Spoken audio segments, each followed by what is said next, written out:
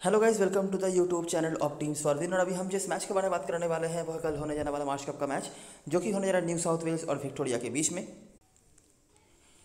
तो ये मैच जो है, होने जा रहा है सिडनी क्रिकेट ग्राउंड पे, जहाँ पे आज ही जो सिफिल्ड सिल्ड का मैच है, वो ख़त्म हुआ है। मतलब ये तो ख़त्म होना चाहिए था एक दिन पहले, लेकिन आपको पता ही होगा कोविड के चलते कुछ इश्यूज़ आए थे, इसीलिए एक दिन लेट मैच शुरू हुआ था। इसीलिए आज जाके ये मैच ख़त्म हुआ है और कल हमें मार्च कप का मैच जो है देखने को मिलेगा, ठीक है? सेम ग्राउंड पे ही। तो एक तो चीज़ हम एक्सपेक्ट कर सकते हैं कि पिच में कुछ चेंजेस ज़रूर आएँगी, क्योंकि चार दिन का मैच हुआ है, भले ही रुकावटें आए हों रेगुलरली मैच नहीं हुए हों, लेकिन ये भी याद रखना पड़ेगा कि बारिश भी हुआ था बीच में तो उसका भी कुछ इफ़ेक्ट पड़ सकता है और कुछ हद तक कुछ चीज़ें बदल सकती हैं, जैसा कि नॉर्मली हम सिडनी के जिस ग्राउंड पर मैच होने जा रहा है, वहाँ पर हम देखते हैं उससे। बाकी इन दोनों टीमों के बीच में ऑलरेडी एक जो है मैच लिस्टेड था, आपको याद ही होगा, जो बारिश के चलते नहीं हो पाया था। अभी तक दोनों ही टीमों ने जो अपने अपने मैचेस खेले इस सीज़न में जितने भी मैचेस खेले हैं, किसी भी फॉर्मेट में, वो एक दूसरे के अगेंस्ट में ही खेला है। अभी तक सेफिल्ड सिल के जो पहले मैच का हमने मैच का वो भी करा था तो उस मैच का रिज़ल्ट आया था, जहाँ पे बहुत ही बुरी तरीके से विक्टोरिया ने हराया था। उसके बाद उसी ग्राउंड पे एक दो दिन बाद मार्च कप का मैच होना था, जो नहीं हुआ। कल मतलब आज जाके जब मैं वीडियो बना रहा हूँ, आज जाके दूसरा जो सेवन का मैच था, जो कि सिडनी के ग्राउंड पे था, जो कि न्यू साउथ वेल्स का घर है, वहाँ पे हुआ, वो ड्रॉ हुआ। अभी ये चौथा मैच है, जो भी अब एक दूसरे के साथ ही ये टीम दोनों टीमें खेलने वाली है। ठीक है? तो काफ़ी सारी चीज़ें सिमिलर रहने वाली है, फिर भी अगर आपने वो मैच का वीडियो नहीं देखा हो तो मैं फिर से रिपीट करवा दूँगा, लेकिन बहुत ज़्यादा डिटेल में नहीं बताने की कोशिश रहेगी यहाँ पे। जो चीज़ें नहीं है, उन्हीं के बारे में हम ज़्यादा फोकस करेंगे। वेदर क्लाउडी रहेगा, लेकिन बारिश के चांसेस मुझे नहीं दिख रहे हैं। सेकंड इनिंग्स खत्म होते होते शायद आपको बारिश दिख जाए, लेकिन मैच पूरा होगा, ये पकड़ के चल सकते हैं आप। फ़िलहाल के लिए अभी ऐसा ही दिख रहा है वेदर आखिरी पाँच मैचों की बात करें तो यहाँ पर न्यू साउथ वेल्स पीछे चल रही है विक्टोरिया से, ठीक है? तीन एक से। इस ग्राउंड में रिकॉर्ड्स की बात करें तो पिछले सीज़न में जब सारे इंटरनेशनल प्लेयर्स अवेलेबल थे, तब सारे मैचेस इन्होंने जीता था। इसमें कोई बोलने वाली बात नहीं है, एक मैच का नो रिज़ल्ट हुआ था बस, जो मैच नहीं हुआ था। और उसके पहले वाले सीज़न में जब majority of the international players available थे नहीं, तब वो ज़्यादा मैचेस यहाँ पर हारे थे। हालाँकि अभी अभी जो टीम उन्होंने डिक्लेयर करा है जो स्क्वाड उन्होंने डिक्लेयर करा है इसके बारे में किस तरह से हमें रिएक्ट करना चाहिए हमें हम वो आगे डिस्कस करेंगे। आ, तो देखते हैं। बाकी ये कुछ परफॉर्मेंस हैं अगर आप चाहें तो देख सकते हैं। मैं डायरेक्टली आ जाता हूँ और फिर से उसी सेक्शन पे आ जाते हैं कि जब ये दोनों टीमें आमने सामने हुई हैं आखिरी पाँच मैचों में तो क्या हुआ है ठीक है? जो मैचेस के रिज़ल्ट आए हैं ऑफकोर्स तो देखते हैं। तो 2016 से हम स्टार्ट कर रहे हैं और यह है न्यू सिडनी का ही मैच तो करंट स्क्वाड मेंबर्स में से आपको कोई भी मिलने वाले हैं नहीं लेकिन आ, बहुत सारे चेंजेस होते हैं क्योंकि दोनों ही टीमों में ना इंटरनेशनल प्लेयर्स काफ़ी रहते हैं ठीक है? तो ज़ाहिर सी बात है वो majority of the times available होते नहीं है तो उनको आप कॉन्सिडर ना ही करें तो बेहतर। मैचेस कैसे हो रहे हैं उनको देखने की कोशिश करिए ठीक है? टू फोर्टी टू यहाँ पर बनाया था विक्टोरिया ने। बॉलरों में से ऑफकोर्स कोई अवेलेबल नहीं है, लेकिन रन यहाँ पर उनके कम बने थे। न्यू साउथ वेस्ट ने चेस करा और 46 ओवर्स में उनको 208 का टारगेट मिला था। यहाँ पर भी बारिश के चांसेस थे। बारिश होने के चलते मैच पूरा नहीं हुआ था, लेकिन वैसे वो जीती जाते, चार रन बाकी था बस। अच्छा अगला मैच ये हुआ था सिडनी में वापस से। न्यू साउथ वेस्ट की बैटिंग यहाँ पर अच्छी नहीं रही थी। हमने पहले भी ये चीज़ ऑब्ज़र्व करा था कि सदरलैंड बहुत ही बढ़िया रिकॉर्ड होल्ड करते हैं, लेकिन वो अवेलेबल है नहीं तो बातें करके फ़ायदा नहीं है। विक्टोरिया ने यहाँ पर कर लिया था चेस 26 ओवर में ही, बाकी मैट शॉट जो करंट स्कॉट में अवेलेबल हैं, यही अभी तक एक लौते प्लेयर हमें मिले हैं, जो दो मैच मिलाने के बाद जो करंट स्कॉट में अवेलेबल हैं। अच्छा अगला मैच फिर से है सिडनी में। विक्टोरिया ने बनाया था 327 करंट स्क्वाड मेंबर्स में से आपको हैंड्स कम दिख जाते हैं। और डैनियल सैम्स ये काफ़ी दिनों के बाद अभी कम करने वाले हैं टीम में। आ, बहुत दिनों तक ये नहीं खेले थे। इनका डेब्यू जो है सीनियर लेवल में इसी फॉर्मेट से हुआ था। लेकिन खेल नहीं रहे थे वर्ल्ड कप में किसी रीज़न से हो। टी ट्वेंटी वगैरह तो उन्होंने खेला हुआ था। ऑस्ट्रेलिया नेशनल टीम के होकर भी उन्होंने खेला है। तो इनकी वापसी हो रही है। तो ऑलरेडी एक जाना पहचाना नाम आपके लिए। बाकी हैंड्स के परफॉर्मेंस हैं। न्यू साउथ वेस्ट तो नहीं कर पाई लेकिन Patterson Henriques Daniel Sams ये आपको परफॉर्मर के रूप में दिख जाते हैं। ये तीनों ही अभी अवेलेबल है। विक्टोरिया ने यहाँ पर जो है डिफेंड कर लिया था। ठीक है, काफ़ी बड़ा स्कोर उन्होंने बनाया था। हैंड्स को हमने लीड करा था। बाकी यहाँ से हेनरी के सैम्स पेटरसन के परफॉर्मेंस से, लेकिन कोई फ़ायदा हुआ नहीं।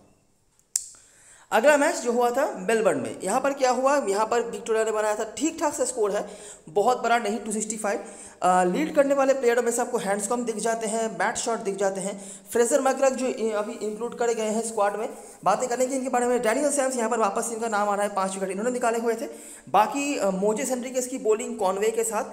न्यू साउथ वेस्ट ने चेज वो नहीं कर पाए। ह्यूजेस और मोजेस हेनरिकेस वापस से इनके नाम आ रहे हैं। मोजे हेनरिकेस परफॉर्मेंस आप नोटिस करो। जब वो चल रहे हैं ना छोटे मोटे स्कोर्स नहीं है उनके। यहाँ पर 77 यहाँ पर 98 याद रखना ये लिमिटेड ओवर गेम है। यहाँ पर ये स्कोर्स बहुत बड़े माने जाएँगे। और बाकी मैच शॉट यहाँ पर हाईएस्ट रन स्कोरर थे, जो हमेशा ही मेलबर्न के ग्राउंड पर इफ़ेक्टिव होते हैं। ये हमने आप पहले ही बताया हुआ है। लास्ट जो मैच हुआ था दोनों टीमों के बीच में, वो हुआ था सिडनी के ग्राउंड पर ही, और वहाँ पर सारे इंटरनेशनल प्लेयर्स अवेलेबल थे ऑफकोर्स तो स्टीव स्मिथ ने लीड करा था, बाकी ओली डेविस जो भी पिछले मैच के स्क्वाड में अवेलेबल थे, लेकिन अभी ये भी अवेलेबल नहीं है। अबाउट कमिंस कोई भी नहीं है। बॉलरों में से सिर्फ़ आपको पैटर्नसन दिख जाएँगे और बाकी कोई यहाँ पर अवेलेबल नहीं है। विक्टोरिया ने 259 बनाया था लीड करने वाले प्लेयरों में से हैंड्सकॉम मैट शॉट तो है ही। बाकी पैटर्सन को भी यहाँ पर बैटिंग से कंट्रीब्यूट करना पड़ा था। बोलरों में से कोई भी अवेलेबल नहीं है। तो पैटर्सन ने लास्ट जो मैच उन्होंने खेला था, भले ही वो मेलबर्न का ग्राउंड रहा हो, लेकिन उनके कॉन्ट्रीब्यूशन थे। हैंड्सकॉम तो रहते ही हैं। बाकी मैट शॉट ये दोनों हमेशा ही अच्छा करते हैं। जो कि हमने पहले भी देखा हुआ है मेलबर्न के ग्राउंड पर मार्क साइडिस अवेलेबल नहीं है, बस यही। तो बहुत सारे प्लेयर्स अवेलेबल नहीं है और बहुत ज़्यादा क्रिस्टल क्लियर बताने के लिए कुछ नहीं है। ठीक है? क्लियर सी बात है, क्योंकि बहुत सारे ऐसे प्लेयर्स हैं जो इस फिक्चर में पहले पार्ट ले चुके हैं, या तो इंटरनेशनल ड्यूटी के चलते, या फिर अलग टीम में, या फिर किसी और रीज़न की वजह से वो नहीं खेल रहे हैं। ठीक है? तो ये सब कुछ पता कि फ़ायदा नहीं है, अगर आप चाहें तो देख सकते हैं, लेकिन मुझे नहीं लगता कि इस मैच में हेड टू हेड सेक्शन से आपको ज़्यादा कुछ मिलने वाला है। तो समराइजेशन पे आ जाते हैं और देखते हैं क्या हमें नाम मिल रहे हैं। तो मोजिस हेनरिकेस डैनियल ह्यूजेस दो नाम आपको यहाँ पर मिल जाते हैं। ठीक है? डैनियल ह्यूजेस ज़्यादा कंसिस्टेंट नहीं रहे हैं लेकिन मोजेस एंड्रिकेस के आपने देखा है 43 का औसत भी उनका यहाँ पर है। विक्टोरिया की तरफ़ से कोई भी करंट स्कॉट में बताने के लिए नहीं है सिवाय पीटर हैंड्सकॉम के। आ, पीटर हैंड्सकॉम बहुत बड़ा स्कोर उनका नहीं रहा है। इवन मेलबर्न के ग्राउंड पे भी उन्होंने बहुत बड़े रन नहीं बनाए हैं अगेंस्ट न्यू साउथ वेस्ट जो हम नोटिस कर सकते हैं। मतलब जनरली मेलबर्न के ग्राउंड पर मैं हमेशा उनको कैप्टन हसन मटेरियल कहता हूँ ये आपने पहले भी देखा हुआ है। लेकिन यहाँ पर जनरली उनका उतना रन नहीं आ रहा है। और ये चीज़ हमने शेफिल्ड सिल में भी कुछ हद तक डिस्कवर करा था आपको याद ही होगा और कुछ हद तक वो काम पे भी आया था। तो जब भी हो ये इनके कुछ स्कोर्स हैं बाकी कुछ खास बताने के लिए यहाँ पर है नहीं। बॉलिंग पे बात करी जाए तो करंट स्क्वाड मेंबर्स में से आपको कोई भी मिलने वाला है नहीं। मिशेल स्टार्क अबाउट कमीज कोई नहीं है। यहाँ से सदरलैंड थे लेकिन वो भी कोविड के चलते बाहर हो चुके हैं तो ऑफकोर्स कोई रिकॉर्ड्स में होल्ड करने वाले प्लेयर्स है, है नहीं। और इसीलिए हेड टू हेड की बातें भी हमने यहाँ पर बताया है कि ज़्यादा आप रेलिवेंट कुछ यहाँ पे ढूंढ नहीं सकते। ठीक है? तो अभी हमें आना पड़ेगा ग्राउंड से और देखना पड़ेगा कि क्या कुछ रिकॉर्ड्स हमें मिल रहे हैं। देखिए रिकॉर्ड्स हमें इसमें से ज़्यादा मिलने वाला है नहीं। ये पहले ही आपको बताया कि दोनों टीमों में इंटरनेशनल प्लेयर्स बहुत ज़्यादा होते हैं तो वो प्लेयर्स अवेलेबल नहीं है। इंजुरी के चलते बहुत प्लेयर्स बाहर हो चुके हैं या कुछ और रीज़न की वजह से।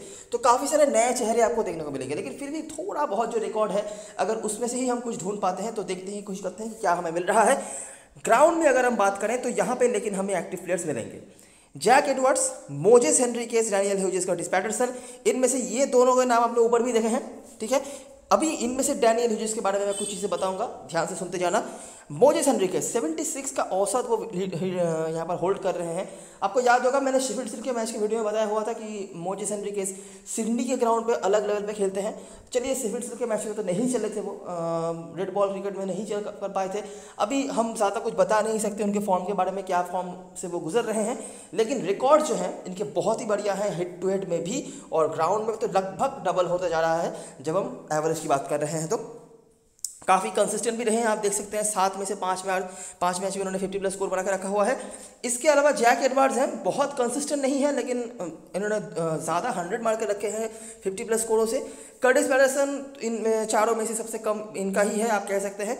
एक ही फिफ्टी प्लस स्कोर है और थर्टी थ्री का औसत है। लेकिन काफ़ी बड़े बड़े एवरेजेस जो हैं, हमें देखने को मिल रहे हैं इन बैट्समैनों से। बाकी अगर बॉलिंग की बात करी जाए तो डैनियल सैम्स का नाम यहाँ पर आता है पाँच मैच, सात विकेट और स्ट्राइक रेट भी ठीक ठाक है, बहुत खास कुछ नहीं। शॉन अवार्ड तो अलग लेवल पे खेल करते थे, लेकिन वो अवेलेबल नहीं है। देखते हैं इस ग्राउंड में मैचेस कैसे कैसे होते हैं, ठीक है? मैं बार बार कह रहा हूँ, यहाँ पे बहुत सारी चीज़ें आपको ऐसे मिलेंगी जो ज़्यादा रेलिवेंट नहीं होगी। हम थोड़ा बहुत आइडिया ही ले सकते हैं, इससे ज़्यादा, इस मैच से पर्टिकुलरली आपको रिकॉर्ड ज़्यादा कुछ हेल्प करने वाला है नहीं, ठीक है? तो इसके लिए तैयार रहना। अच्छा सिडनी का मैच मैदान है, जो आपने ऊपर एक मैच देखा था, विक्टोरिया बनाम न्यू साउथ वेस्ट का। वो तो चलिए हो ही गया, जो मेरे ख्याल से सेकेंड लास्ट या लास्ट मैच होगा शायद।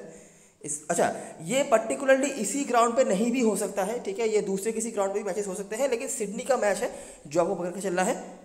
चाहे वो सिडनी क्रिकेट ग्राउंड हो या दूसरा कोई ग्राउंड हो तो वही है, ठीक है? तो यहाँ पे हमें कौन कौन से प्लेयर्स देखने को मिले थे? हैंड्सकॉम जो यही इनका हाईएस्ट स्कोर है इस पिक्चर में। बाकी बॉलरों में से सैम्स पैटरसन हेनरी के सैम्स की बैटिंग भी, बाकी कोई अवेलेबल नहीं थे। अच्छा न्यू साउथ वेल्स बनाम तास्मानिया का मैच हुआ था 2018 का मैच है ये। कौन कौन से प्लेयर्स हमें देखने को मिले थे? पैटरसन वापस से जैक एडवर्ड्स पेसर्स का ज़्यादा यहाँ पर विकेट्स है स्पिनर्स का थोड़ा कम। दूसरी इनिंग्स पर जब हम आएँगे तो फिर से चेसिंग टीम चेज नहीं कर पाई। ऊपर भी हमने ऐसा ही देखा था चेसिंग टीम चेज नहीं कर पाई थी। उस बार न्यू साउथ वेल्स थी, इस बार न्यू साउथ वेल्स जीत गई। बॉलरों में से आपको डैनियल सैम्स दिख जाते हैं, जो यहाँ पर दो विकेट निकाल रहे हैं। बाकी माइकी एडवर्ड्स हैं ये जैक एडवर्ड्स नहीं, जिन्होंने बॉलिंग करा था। उसके बाद क्विंसलैंड बनाम साउथ ऑस्ट्रेलिया का मैच हुआ था। यहाँ पर काफ़ी स्कोर बने थे, लेकिन एक चीज़ हमने नोटिस करा था कि यहाँ पर स्पिनर्स ने काम करा था दूसरे इनिंग्स में स्पेशली ठीक है? चेस यहाँ पर भी नहीं हुआ था, लेकिन थोड़ा ज़्यादा रन बना था डेन लास्ट टू मैचेस पिछले सीज़न में जो मैचेस हमें देखने को मिले थे न्यू साउथ वेल्स विक्टोरिया का, वो भी मैंने आपको ऊपर दिखा दिया। और लास्ट दो मैचेस की अगर हम बात करें तो क्वींसलैंड बनाम न्यू साउथ वेल्स का मैच हुआ। क्वींसलैंड को 203 पर निपटा था देखिए, पिछले सीज़न में न्यू साउथ वेल्स की टीम में कौन कौन से प्लेयर थे, आप यहाँ पर नाम देख सकते हैं। स्टार कमिंस हेजलवुड लेन तो इनके बारे में बताया कोई फ़ायदा है नहीं, ठीक है? तो इनसे आप कंपेयर नहीं कर सकते हैं। सही है? तो ये अगर ऐसी बॉलिंग सामने आएगी तो ज़ाहिर सी बात है किसी भी डोमेस्टिक टीम के लिए कुछ कर पाना मुश्किल है। डोमेस्टिक टीम तो छोड़ दी इंटरनेशनल टीम से नहीं कर पाना मुश्किल है। ये तो फिर भी डोमेस्टिक टीम है। तो दो हज़ार तीन बनाया था उन्होंने और इजीली चेस भी हो गया था। लेकिन एक बंदे का नाम आपको यहाँ पर देखना पड़ेगा, वो है डैनियल ह्यूजेस अच्छा नोटिस करो, यहाँ पर कई भी डैनियल ह्यूजेस का नाम नहीं है। ये था पिछले सीज़न का पहला मैच ओवरऑल पहला मैच और इस ग्राउंड में पहला मैच ठीक है? डैनियल ह्यूजेस का नाम नहीं है। ऊपर भी अगर आपने देखा होगा तो देखिए पहले जो मैचेस होते हैं, वहाँ पर डैनियल ह्यूजेस का नाम आपको नहीं देखने को मिलेगा। लेकिन जैसे ही आप आखिर के एक दो मैचेस में आ जाएँगे नोटिस करो ठीक है? आ, ये था सेकेंड लास्ट मैच इस ग्राउंड पे। डेली हुई हंड्रेड एंड वन पहले के मैचेस में कोई रन नहीं है। जैसे ही आए हंड्रेड एंड वन ठीक है? और दूसरे मैच पर भी डेनी ह्यूज का नाम आया फिफ्टी एट बाकी जैक एडवर्ड्स हैं और दूसरे इनिंग्स पे ये कोई बॉलर से इनमें से कोई फ़ायदा नहीं है। तो मोस्टली आप देख सकते हैं यहाँ पर डिफेंडिंग टीम ही जीत रही है मतलब बैटिंग फ़र्स्ट टीम जीत रही है। अच्छा डैनी ह्यूज के बारे में जो मुझे बताना था, अगर आप मतलब बिल्कुल पहले मैच से फॉलो कर रहे हैं तो मैंने बताया हुआ है स्पेशली वाइट बॉल क्रिकेट में ये मैंने ज़्यादा अप्लाइड होते हुए देखा है। डेरियन ह्यूजेस हमेशा ही एक बड़े प्लेयर हैं, ठीक है? अगर आप एंड ऑफ़ द सीज़न इनके स्टेटिस्टिक्स देखेंगे, आपको दिखेगा कि ये बहुत ही बढ़िया स्टेटिस्टिक्स होल्ड कर रहे हैं।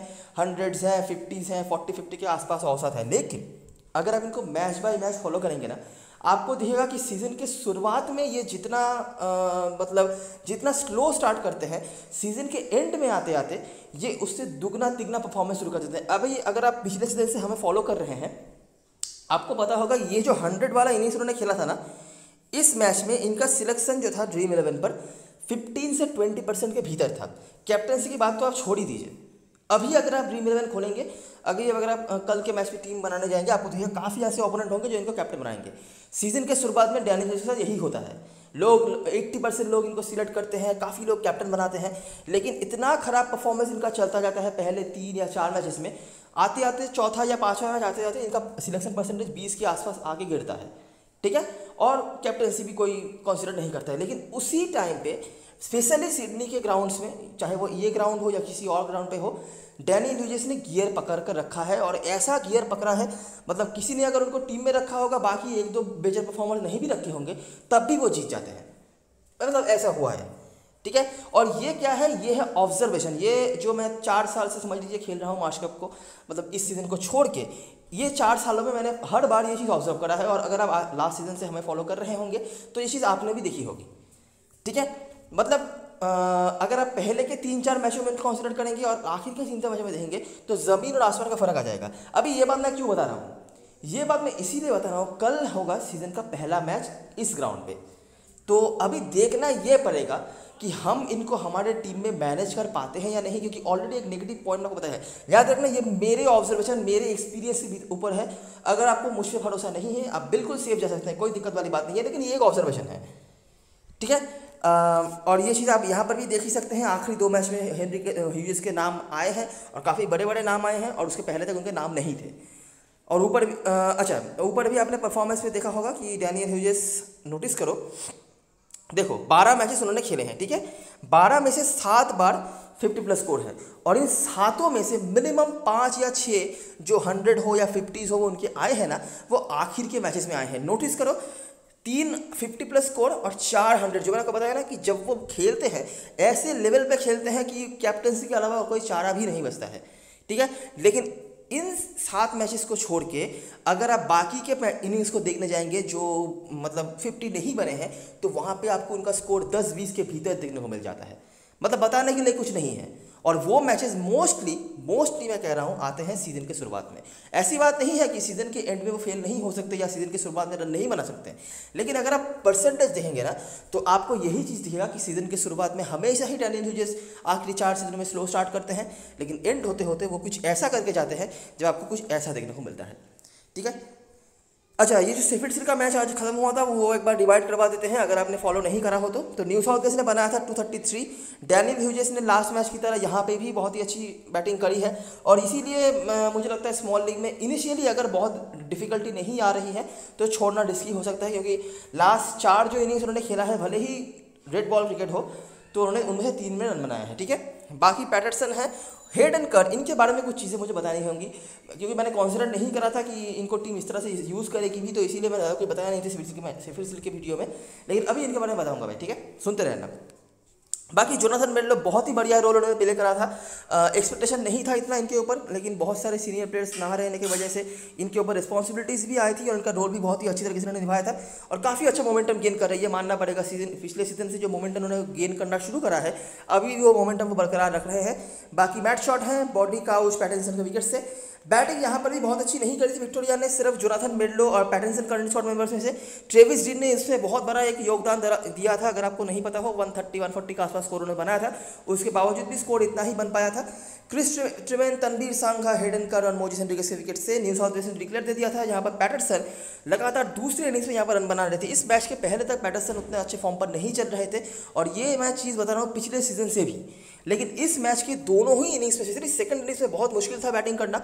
ठीक है, वहाँ पे भी पैटरसन ने काफ़ी अच्छी बैटिंग करी और इससे हम थोड़ा बहुत आइडिया लगा सकते हैं पैटरसन फॉर्म में वापस आ रहे हैं। ठीक है?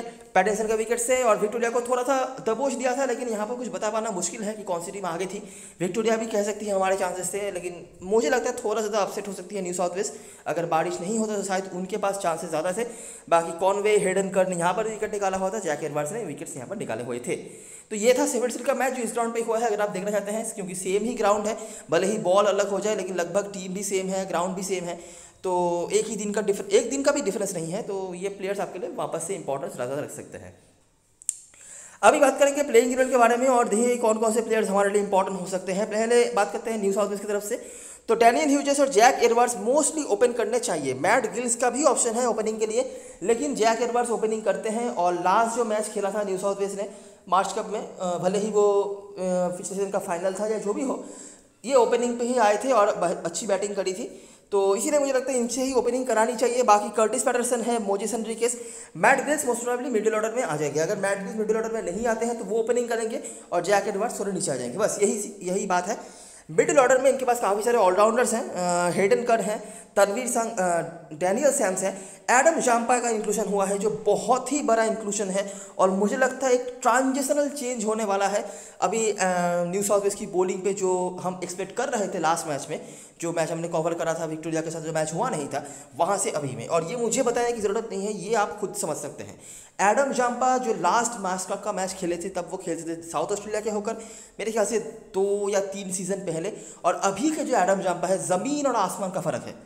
ठीक है? अकेले के बलबूते पर वो मैचेस को मतलब खींच रहे हैं नेशनल टीम्स में वर्ल्ड कप्स में। तो अभी तो एक बहुत बड़ा इंक्लूशन है मुझे लगता है और ये एक ट्रांजिशनल चेंज होने वाला है। बाकी Harry Conway Chris Tremain Tanveer Sangha है।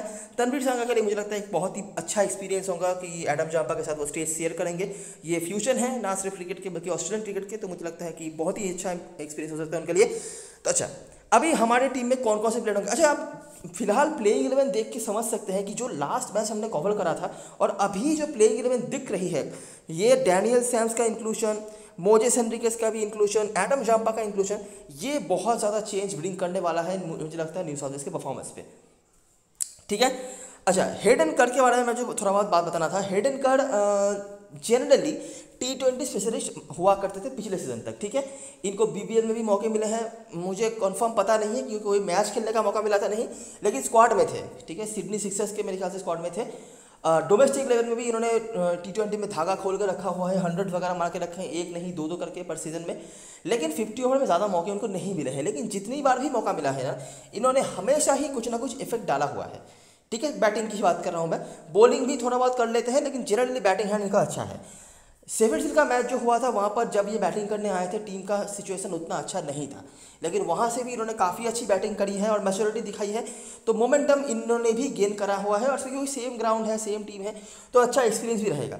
इसके भी ऊपर अगर हम देखेंगे, अगर ऐसा प्लेइंग इलेवन रहता है मोस्टली मुझे लगता है ऐसा ही रहने वाला है। तो नोटिस करो one two three fourth pacer जो है हेडन कर होने चाहिए। ठीक है? और छठे बॉलर भी हेडन कर ही होने चाहिए। क्योंकि डैनियल सैम्स कॉन्वे ट्रिमन ये तो इनके मेन पेसर होंगे ही। उसके बाद हेडन कर का ही नंबर मुझे लगता है आना चाहिए, अगर कहीं पर किसी बॉलर की ज़रूरत पड़ी तो। ठीक है? तो मुझे लगता है हेडन कर का जो रोल है, वो काफ़ी अच्छा हो सकता है। अगर टीम बैटिंग फ़र्स्ट कर रही है ना तो ओली डेविस जो रोल प्ले करते थे इनकी टीम में फिनिशर का, वो काम हेडन कर बखूबी से निभा सकते हैं। ठीक है अच्छा हिट कर लेता है। जैसे मैंने बताया टी ट्वेंटी स्पेशलिस्ट है तो हिटिंग तो इनको आती ही होगी। तो अच्छा हिटिंग कर सकते हैं, और मुझे लगता है छठा बॉलिंग ऑप्शन भी यही होने वाले हैं। अभी अगर इनको बॉलिंग नहीं मिलती है, समझ लीजिए पाँचों बॉलर से ही काम हो गया, तब शायद थोड़ा बैकफायर कर भी सकता है इनका सिलेक्शन लेकिन मुझे लगता है काफ़ी जेनुइन ऑप्शन है, अगर आप इनको कंसिडर करना चाहते हैं, कर सकते हैं। डैनियल ह्यूज के बारे में मैंने आपको नेगेटिव चीज़ बता दी है, ठीक है? अगर आप देखना चाहते हैं, देख सकते हैं। जैक इनवर्ट्स रिकॉर्ड डिसेंट हैं लेकिन थोड़े से हिट और मैच टाइप है। लेकिन अभी अगर हम जा, सामने जब विक्टोरिया की बॉलिंग की बात करेंगे ना तब आपको दिखेगा कि उतना ज़्यादा भी इनका कुछ खास बॉलिंग होने वाला है नहीं। और पिछले सीज़न में भी लगभग इसी बॉलिंग रनर के साथ वो आए थे कुछ खास उनका हुआ नहीं था। तो इसीलिए मुझे लगता है टॉप ऑर्डर से ज़्यादा प्लेयर्स अगर नहीं छोड़ेंगे तो ही बेहतर होगा। अगर आप डैनियल ह्यूजिस के ऊपर चांस लेना चाहते हैं ये वर्ड सुन लेना चांस अगर आप लेना चाहते हैं तब आपके लिए जैक एडवर्ड्स का रोज ज़्यादा बढ़ जाएगा क्योंकि टॉप ऑर्डर से हमें ज़्यादा से ज़्यादा प्लेयर्स लेने हैं। तो डैनिश जूस अगर आप लेते हैं, तब भी जैकेट वर्ड से ले सकते हैं। अगर आप नहीं लेते हैं, तब इनको लेना ही पड़ेगा। ऐसी बात है। ठीक है? बॉलिंग शायद नहीं कराएँगे, क्योंकि ऑलरेडी बहुत सारे बॉलर थे छः तो मैंने यही बता दिए। मोजे सेंट्रिकस बॉलिंग करा सकते हैं। ठीक है, सात ऑप्शन यहाँ के हैं तो मुझे लगता है जैकेट वर्ड्स की बॉलिंग की ज़रूरत नहीं पड़ेगी। कर्टिस पैटरसन ने अच्छा फॉर्म दिखाया हुआ है और इस ग्राउंड पे जनरली इफ़ेक्टिव होते हैं। बहुत खास कुछ मैं एक्सपेक्टेशन नहीं रख रहा, लेकिन 20-30 रन के आसपास अगर आप बना देते हैं तो भी इफ़ेक्टिव हो सकते हैं। मोजी सेंट्रिकस मस्ट है। हाल ही सिफिल्स के मैच में खास कुछ नहीं करे थे उन्होंने, लेकिन हम इनको कहीं भी अंडर एस्टिमेट नहीं कर सकते इस ग्राउंड पे। बॉलिंग भी कराई थी, एक विकेट निकाला हुआ था, अगर बॉलिंग कराते हैं, मुझे लगता नहीं कराएँगे। अगर कराते हैं तो और भी इफेक्टिवनेस इनका ज़्यादा हो सकता है। उसके बाद डैनियल सैम्स मस्ट है एडम जम्पा मस्ट है क्रिस टिमेन जैसे मैंने पहले ही बताया था कि अपने पुराने टीम के अगर इसमें खेल रहे हैं, उसका एग्ज़ाम्पल आपने देखा भी था, काफ़ी हद तक काम पे आए थे। बाकी जो ऑप्शन है, हमारे पास हेडन कर और Harry Conway Harry Conway last बार जब इनको खेलने का मौका मिला था इस फॉर्मेट में, कमाल का परफॉर्मेंस इन्होंने करा था। ठीक है, मैंने ये लास्ट मैच की वीडियो में बताया हुआ था। अभी इनको कितना ज़्यादा टीम यूज़ करेगी, कितना इनको बॉलिंग मिलेगा, नहीं मिलेगा, ये मुझे नहीं पता है। लेकिन एक जेनुइन बोलिंग ऑप्शन अगर आपको देखना है तो आप हैरी कॉनवे के साथ जा सकते हैं। और अगर आपको जेनुइन बैटिंग ऑप्शन या ऑलराउंडर का ऑप्शन देखना है तो हेडन कर तो मेरे स्मॉल लिस्ट स्पॉट लिस्ट में शॉर्ट लिस्ट में कौन कौन आए? Curtis Patterson Moises Henriques Daniel Sams Adam Zampa Chris Tremain पाँच यहाँ से हो गए। डैनियल ह्यूजेस अगर पॉसिबिलिटी है कि किसी प्लेयर के ऊपर आप चांस लेना चाहते हैं, बड़े प्लेयर के ऊपर तो वो एक ऑप्शन है। अगर आप डैनी ह्यूज छोड़ते हैं तो जैक एडवर्ड्स को ज़रूर से लेकर चलिएगा। तो छः यहाँ से हो गए और सातवां प्लेयर इन दोनों में से कोई है। ठीक है? तो इन सातों में से छः या पाँच या सात को हम लेके जाएँगे। देखते हैं क्या करते हैं हम आगे। बैकस्टर्ड होल्ड को बेंच पे रखा जा सकता है, और मुझे लगता है ये बेंच पे ही रहेंगे। मुझे कहीं भी इनका जगह बनता हुआ नहीं दिख रहा है। विक्टोरिया की तरफ़ से बात करें तो सैम हार्पर और सेमूर ओपनिंग कर सकते हैं। सेमूर को आपने देखा होगा शिफिल्ड सील में जो पहला मैच उन्होंने खेला था, बहुत ही बढ़िया बैटिंग करी थी। हालाँकि लास्ट मैच में खास कुछ नहीं कर पाए थे। कुछ बातें इनके बारे में करेंगे। पीटर हेडसोम उसके बाद Matt Short, Jake Fraser McGurk मैकेजी Harvey, Jonathan मेल्डो पैटर्सन, सैम एलियर टॉड मर्फी, विल पार्कर और बॉडी क्राउच में से कोई है और इसमें मुझे लगता है ज़्यादा सा चांस यही है कि बॉडी क्राउच खेल जाए। अभी अगर मैं यहाँ पे बताऊँ, काफ़ी ज़्यादा एक्सपीरियंस की कमी नज़र आ रही है इस बैटिंग लाइनअप पे। सिर्फ़ पीटर हैंड्सकॉम और कुछ हद तक मैट शॉट आप कह सकते हैं। इसके अलावा ना, Jake Fraser McGurk Mackenzie Harvey, ये तो अंडर 19 खेला करते थे दो, एक दो, एक डेढ़ साल पहले रेगुलर कभी भी नहीं थे। अभी क्योंकि बहुत सारे प्लेयर्स अवेलेबल नहीं है, इसीलिए इनको खेलना पड़ रहा है। ठीक है? सैम हार्पर, चलिए सीनियर लेवल में काफ़ी दिनों तक खेल रहे हैं, लेकिन कंसिस्टेंसी की कमी कमी इनको भी दिखा, इन्होंने भी दिखाई है। जेम्स सेमूर ये डेब्यू करने वाले हैं मोस्ट प्रोबेबली इनके बारे में मैं ये बता सकता हूँ विक्टोरियन डोमेस्टिक सर्किट में बहुत ही बड़े ट्रायड एंड ट्रस्टेड वाले ये प्लेयर हैं। इन ये थोड़ा बहुत बॉलिंग भी कर सकते हैं, थोड़ा बहुत नहीं, काफ़ी इफ़ेक्टिव बॉलिंग कर सकते हैं। सेकेंड टीम जो होता है विक्टोरिया का, वहाँ पे भी इन्होंने काफ़ी अच्छी बॉलिंग कराई हुई थी। एक विकेट दो विकेट करके निकालते थे। और मोस्ट प्रोबेबली अगर यही प्लेइंग इलेवन रहता है तो टॉड मर्फी और मैट शॉट के अलावा अगर किसी को स्पिनर स्पिन की ज़रूरत पड़े, कोई स्पिन की तो वो जेम्स सेमूर कर सकते हैं। मुझे लगता नहीं पड़ेगी, लेकिन अगर पड़े तो ठीक है? चांस कम है, लेकिन ये बॉलिंग करा सकते हैं। मैं आपको ये रिमाइंड करवा दूँ। जोनाथन मिल्लो मस्ट हैव है। आप इनको गलती से भी नहीं छोड़ सकते। कमाल का मोमेंटम उन्होंने गेन करके रखा हुआ है। और और कोई ऑप्शन भी आपके पास बैटिंग सेक्शन में नहीं होगा।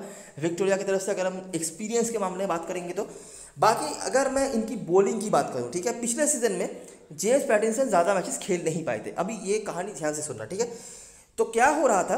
कि ये जो Elliot Murphy Will Parker, Brody Couch और भी जावियर टोन वगैरह प्लेयर्स थे तो इनको लेकर जो है अपनी बॉलिंग सजानी पड़ रही थी विक्टोरिया को, ठीक है? तो क्या होता था कि बैटिंग से अगर कहीं से वो तीन सौ तीन सौ या उसके आसपास स्कोर बना भी देते हैं, जो लीड करते थे बैट शॉट या हैंड्स कॉम या जोनाथन मिलो लास्ट दो मैचेस में, तब भी जाके इनकी बॉलिंग अच्छी नहीं होती थी। जोनाथन मिलो तो तब भी बॉलिंग भी अच्छी कराते थे विकेट्स इन्होंने निकाले हुए थे कुछ, लेकिन बाकी जो ओवर्स बचते थे, इन इन बॉलर्स का, जो यंग बॉलर्स हैं, इनसे कुछ होता नहीं था और at the end of the match काफ़ी रन इनको कंसीड करने पड़ते थे। अभी अगर मैं इनकी बॉलिंग की बात करूँ तो चलिए बैटिंगसन का एक्सपीरियंस ऐड हुआ है। ठीक है? जोनाथन मेडलो भी आपके लिए काम कर देंगे। तो इन दोनों का बीस ओवर तो चलिए सही से निकल गया, लेकिन उसके बाद तीस ओवर कौन निकालेगा? और कैसे निकालेगा, इसके ऊपर मुझे लगता है बहुत बड़ा क्वेश्चन मार्क अभी भी बना रहेगा। अभी ये क्वेश्चन मार्क का आंसर क्या होगा, ये हमें कल का मैच देख के पता चल जाएगा। लेकिन मुझे लगता है यहाँ पर एक वीकनेस मतलब हाईलाइटिंग वीकनेस जो है, आपको देखने को मिल सकता है विक्टोरिया की तरफ़ से। बैटिंग में भी मैंने बता दिया हैंड्स कॉम के अलावा और हैंड्स कॉम और कुछ हद तक जोनो मिडलो जो लोअर मिडल में आएँगे, इनके अलावा एक्सपीरियंस या कंसिस्टेंसी दोनों ही किसी के पास हमें नहीं रही है। ठीक है? मैच शॉट मैंने बताया है कि बेस्ट परफॉर्मेंस इनका आता है मेलबर्न के ग्राउंड पे। सेफेट सिल्व एक मैच में भी आपने यही चीज़ नोटिस करा। तब वो भी तब जब पिच में स्पिन को हेल्प मिल रहा था स्पिनर्स विकेट निकाल रहे थे तब भी मैट शॉट कुछ खास नहीं कर पाए ना ही बैटिंग से ना ही बॉलिंग से। हैंड्स फॉर्म का भी हमने वही चीज़ बताया हुआ है कि इनका बेस्ट परफॉर्मेंस कहाँ पे आता है। आपने ये चीज़ सेफिट के मैच में देखा होगा। आ, ये जो सेफिट का मैच था दोनों में से एक भी इनिंग्स पर नहीं रन आया था।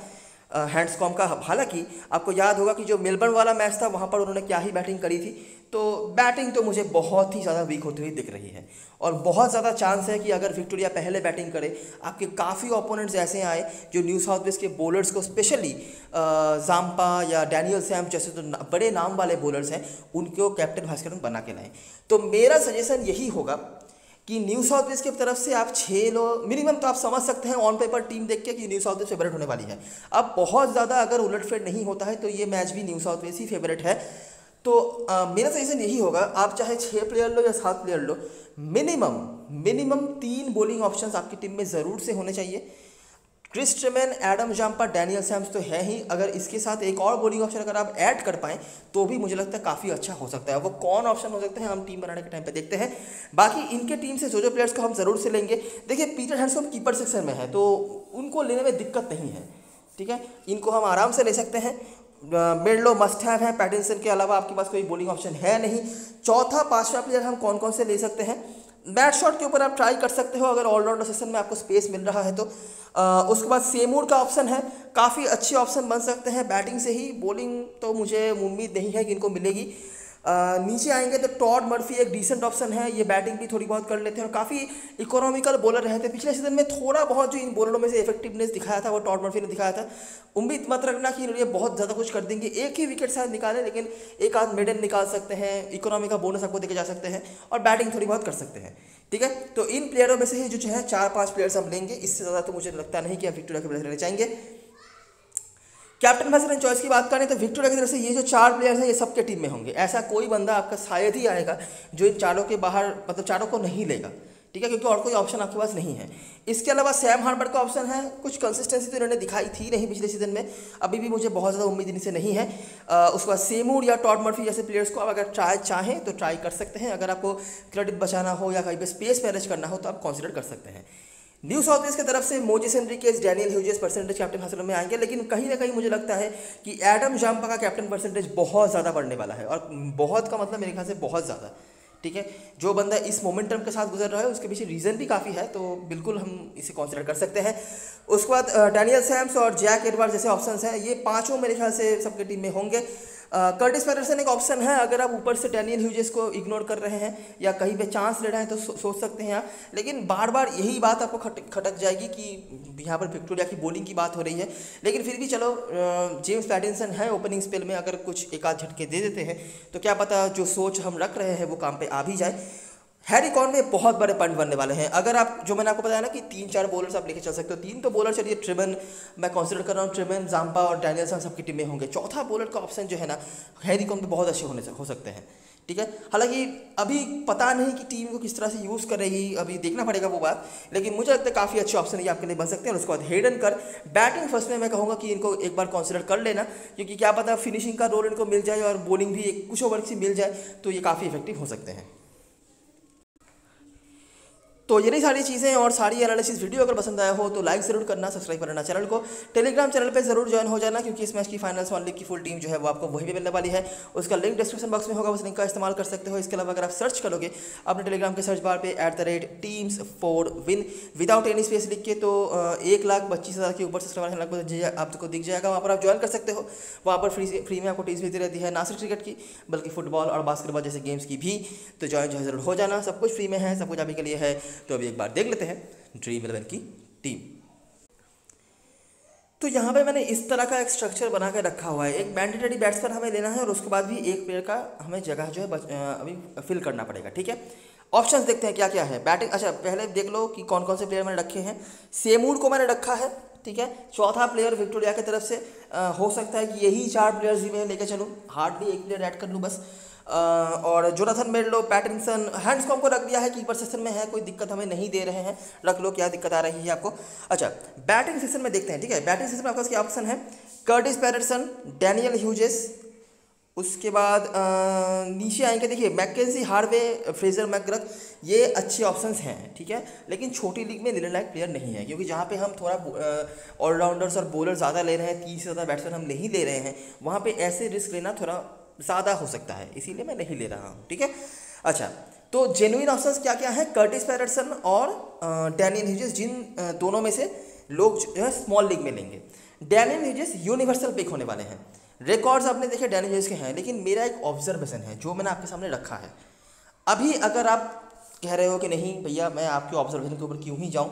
पता चला कि आपका ऑब्जर्वेशन गलत हो गया और वहाँ पर सेवेंटी का औसत लेके बैठा हुआ है बंदा, उन्होंने बना दिया तो हम कहाँ जाएँगे? तो बिल्कुल, कोई दिक्कत वाली बात नहीं है। आप बिल्कुल टैलेंट यूज़ कर ले सकते हो। इवन आप सेमूड को भी ड्रॉप कर सकते हो और इन दोनों को भी लेकर चल सकते हो, वो भी सही ऑप्शन होगा।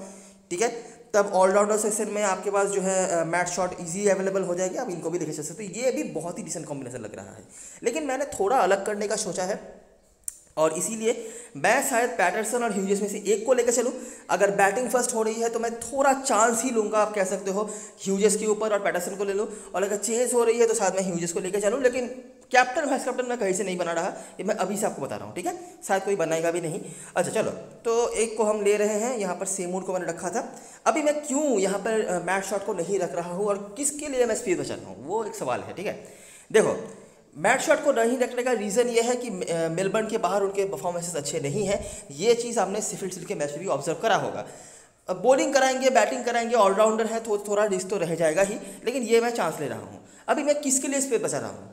अगर बैटिंग फ़र्स्ट हो रही है न्यू साउथ वेल्स का तो हेड एंड कर को मैं ज़रूर एक बार ट्राई करना चाहूँगा। ये फिनिशर के तौर पे काम कर सकते हैं और सिक्स बॉलर ये मुझे लगता है यही होने वाले हैं, क्योंकि मोजी सेंट्री के ज़्यादा बॉलिंग कराते नहीं हैं। ठीक है? और क्योंकि सिफिट सिद्ध में भी उन्होंने काफ़ी अच्छी बॉलिंग कराई हुई है, दोनों इन्हीं से विकेट निकाला हुआ है, एकमात्र बॉलर मेरे ख्याल से थे। तो बिल्कुल मुझे लगता है कि इनको बॉलिंग मिल सकती है, इसीलिए। और अगर बॉलिंग फ़र्स्ट हो रही है तो हैरी कॉनवे बहुत ही डिसेंट ऑप्शन है। लोग शायद भूलें इवन आप बॉलिंग सेकंड में भी इनको लेकर चल सकते हो, कोई दिक्कत वाली बात नहीं है। क्योंकि कहीं ना कहीं हम एक्सपेक्ट कर रहे हैं कि विक्टोरिया एक तरफा हारने वाली है यहाँ पे, चाहे बैटिंग से हो बॉलिंग से हो। तो इनको आप वैसे भी लेकर चल सकते हो, ठीक है? क्या पता हेडन को टीम सही इस्तेमाल नहीं करें, लेकिन कॉनवे का तो टीम इस्तेमाल करेगी। ठीक है? तो हमारे पास चार बॉलर्स हो गए, हमारे पास तीन बैट्समैन एक फिनिशर आ गया। तो पूरी तरीके से हमारा टीम यहाँ पर पैक्ट हो चुका है और ये कॉम्बिनेशन भी सही है। अगर आपको सेव जाना है, आप यहाँ से कॉनवे हटाएँगे सेमूड हटाएँगे शॉट लेंगे और पैटरसन को ले लेंगे। पैटरसन ने सिविल्स के दोनों ही इनिंग्स पर रन बनाए हुए हैं तो मोमेंटम उनके पास है। ठीक है? और काफ़ी अच्छा भी करा था उन्होंने तो बिल्कुल एक ट्रायबल ऑप्शन ये बने रहते हैं। कैप्टन वाइस करें ऑप्शन की बात करें। मोजेस हेनरिकेस बिल्कुल मेरे लिए एक ऑप्शन बने रहेंगे। कोई दिक्कत वाली बात यहाँ पे नहीं है। फॉर्म को लेकर मैं डाउटफुल हूँ, इसीलिए मुझे थोड़ा सा खटक रहा ये चीज़। नहीं तो रिकॉर्ड्स आपने देख ही लिया, बहुत ही बढ़िया है। जोनाथन मेडलो बहुत ही डिसेंट ऑप्शन है टीम भले ही हारे या कुछ करे, लेकिन ये तो आपको दोनों तरफ़ से पॉइंट देखे जाएँगे। इतना मुझे पक्का आपको इनको भरोसा है। ठीक है? बॉलिंग भी इनको दस ओवर करनी ही पड़ेगी स्पेशली बॉलिंग फ़र्स्ट होती है तो। चाहे वो सेवेंटी एट्टी रन भी क्यों ना देखे जाए, लेकिन विकेट अगर कोई निकाल सकता है तो जोराथन मेडलो बैटिंसन यही दोनों ही ऑप्शन है और बैटिंग भी इनके पास आनी है, ठीक है? तो इसीलिए अच्छे ऑप्शन है, भले ही टीम हार जाए। अच्छा उसके अलावा Adam Zampa regardless of any innings आप इनके ऊपर चांस ले सकते हैं। मैं थोड़ा रिकॉर्ड अगर इनका बताऊँ, काफ़ी इरेलीवेंट होगा, लेकिन रिकॉर्ड्स अगर मैं बताऊँ, जो इन्होंने दो मैच खेले हैं, मैंने आखिरी चार साल में जो देखा है दो मैच खेले हैं, for South Australia against Victoria. दोनों ही मैच में इन्होंने तीन करके विकेट निकाले हुए हैं। कोई सिमिलरिटी नहीं है वो विक्टोरिया की टीम और अभी की विक्टोरिया की टीम में, लेकिन ये एक रिकॉर्ड है, अगर आप देखना चाहते हैं तो। ठीक है? तो ये तीन ऑप्शन हैं जिनके साथ आप जा सकते हो। डैनियल सैम्स वगैरह टीम में रख लो, मुझे लगता नहीं कि इनके ऊपर बहुत रिस्पॉन्सिबिलिटीज आएगी। दो तीन साल पहले जब वो खेलते थे, तब अलग सिचुएशन था, लेकिन अभी इस मैच के लिए कम से कम मुझे लगता नहीं इनके ऊपर कोई रिस्पॉन्सिबिलिटी आने वाली है। बाकी ये कॉम्बिनेशन मुझे काफ़ी सही लग रहा है, ठीक है? सिर्फ़ अगर आपको थोड़ा सेफ़ रहना है सेमूड और कॉर्नवे की जगह पर पैटर्सन और मैट शॉट ऐड कर लेना तो ज़्यादा सेफ़ आप रह जाओगे। तो ये रही सारी चीज़ें और सारी एनालिसिस वीडियो अगर पसंद आया हो तो लाइक ज़रूर करना सब्सक्राइब करना चैनल को। टेलीग्राम चैनल पे ज़रूर ज्वाइन हो जाना क्योंकि लास्ट वन पे सारी अपडेट्स वगैरह वहीं पे आने वाली हैं। तब तक के लिए best luck for this match and bye for now